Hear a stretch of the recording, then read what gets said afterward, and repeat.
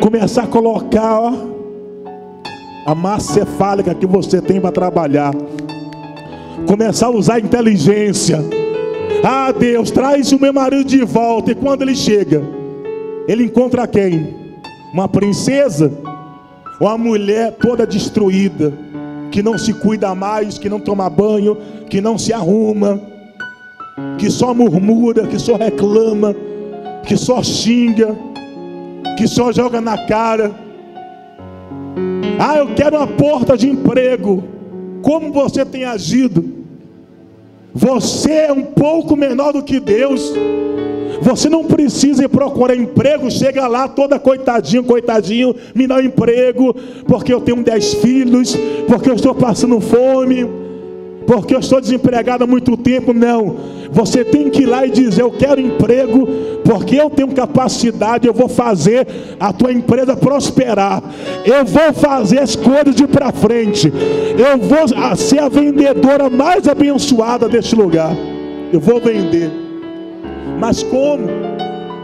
Tem gente que quer trabalhar, aí chega em loja, a pessoa não levanta nem a cabeça. Eu fui na loja ontem, entrei, comprar um sapato, a pessoa nem dá um boa tarde, um boa noite, nem, nem atende. Entra e sai a pessoa lá. Aí quando fica desempregada, fica reclamando de Deus. Porque não tem atitude, não tem reação, não dá valor que tem. Se você quer ser abençoado, dê valor que você tem. Dê valor que você tem. Deus entregou a Moisés, sabe o que? Um bordão, um cajado, um pedaço de pau. Você acha que Moisés deixava para trás?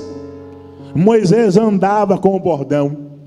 Imagine quando Deus disse: Pega o seu bordão, Moisés, estende e divide o mar. Senhor, eu esqueci o bordão, imagine. Esqueci. Ele não trouxe, não. Você não pode esquecer de usar a sua fé. Você tem que carregar o seu bordão 24 horas. Você tem que andar com o seu bordão, porque quando você precisar, quando Deus falar, use agora, você tem que usar, e as coisas vão começar a dar certo na tua vida. Posso ouvir glória a Deus? Eu vou fazer aqui hoje algo profético. E quem crê, Deus vai te abençoar poderosamente. Amém, igreja? Quem tem Bíblia, abre no Salmo 23, por favor. Abre no Salmo 23. Eu não vou demorar não, vou ser profeta na tua vida. Quem crê vai sair daqui para viver algo novo. Amém? Salmos 23, que se não tiver Bíblia, você vai orar comigo esse salmo. Eu quero duas taças. Duas taças aqui. Pastor Diego segura uma e pastor Wagner outra. Quem já abriu já? O Senhor, meu pastor, nada me faltará. Ele me faz repousar em pastos verdejantes. Lava-me, leva-me para junto das águas de descanso. Refrigera minha alma. Guia-me pelas veredas da justiça, por amor do seu nome. Ainda que eu ande pelo vale da sombra da morte, não temerei mal nenhum porque tu estás comigo. O teu bordão, o teu casado me consolam.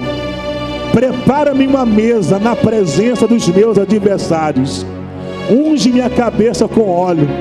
O meu cálice transborda.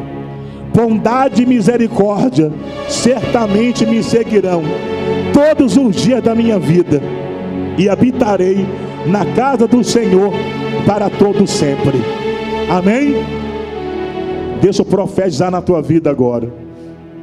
Deixa eu profetizar na tua vida. Põe aqui embaixo aqui. Desce aí, pastor. Desce aí. Deixa eu profetizar na tua vida. Quem tiver fé, receba. Levanta mais alto que puder. Estende a mão aqui para o altar. Diga: o meu cálice vai transbordar. Diga: o meu cálice vai transbordar. Diga mais uma vez: o meu cálice vai transbordar. Bispo, que cálice? Vida financeira, saúde, família, Sobe aqui, pastor, para as pessoas verem. Sobe aqui rapidinho. Diga: o meu cálice vai transbordar em todas as áreas da minha vida. Levanta.